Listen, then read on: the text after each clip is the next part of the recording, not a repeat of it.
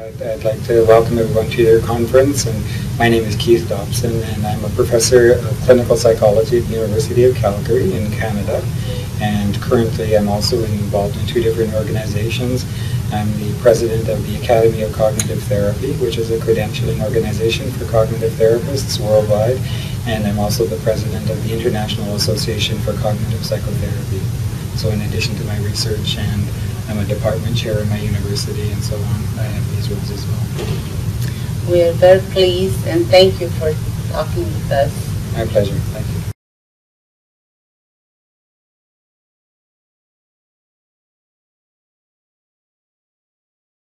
Work uh, has been over the last number of years in the area of depression, and so we're very interested in the problem of clinical depression and uh, over the years, I've come to the opinion that the treatment of acute phase depression is very important, obviously, for patients' well-being. But from a public health perspective, that we probably can have as much impact, or more perhaps, by also focusing on relapse prevention.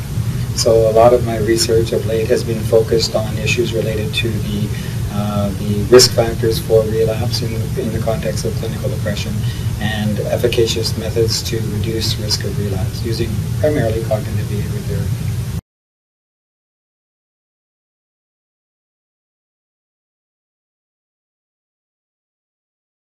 Yes, well, we actually have two different lines of research. Again, one is laboratory-based research. So we have a paradigm that we've been using quite a bit where we use recovered depressed patients and we do induction procedures to see if we can elicit certain kinds of thinking styles that might be predictive of relapse. And then we're looking at the long-term results. And we have a paper that was published in Behavior Research and Therapy in 2009, and we have another one in Press and Journal of Affective Disorders looking at that, that particular issue. Um, we also have been doing some work um, in the area of, of, again, reducing risk of relapse through interventions.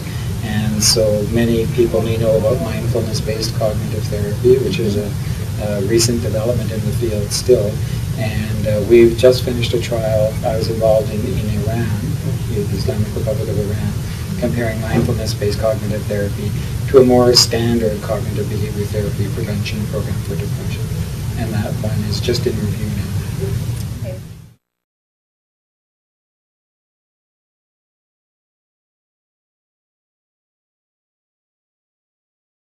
I knew you were going to ask this question. And honestly, this is one of the most difficult questions, I think, mm -hmm. to, to try to ever anticipate where our field is going. The field of cognitive behavior therapy has grown so much in the last decade that it's uh, almost impossible in some ways to imagine where it would be 10 years from now or you know, in the next Or what do you wish? Yeah, where, where I would like it to go, I, I guess is a couple of things. Um, what we know now, again, to compare compared to 10 years ago, is we have much more evidence about the efficacy of cognitive behavior therapy for a wide range of disorders.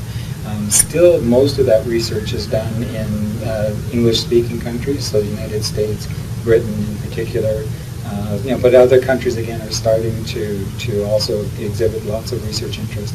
So one of the things I would really like to see would be a lot more more basic research about the efficacy of CBT or its adaptations perhaps for cultural, different cultural variations mm -hmm. in different countries. I think that would be a, a, huge benefit both to replicate some of the early work and find out what doesn't work as well, you know, or what needs to change for CBT to be effective in different parts of the world. Um, the other thing that I think is critical as a piece of research and uh, piece of theory as well, and something we don't know much about is training. Um, I've become quite interested in the issue about how do we train and think about training for CBT, uh, both in terms of adherence to the model and then in terms of competence. You and I were involved in a session this morning mm -hmm. looking at this issue, and I think we don't yet have very good models for dissemination of psychotherapy in general, uh, but CBT as well. Mm -hmm. So that's an area I would love to see developed, and I'd like to see some kind of movement towards international um, standards and models of training both for adherence and for competence. Thank you very much for your time, for your attention to the sixth Congress of Mind, Behavior, and Emotion. Thank you very much. And, and I wish you all well.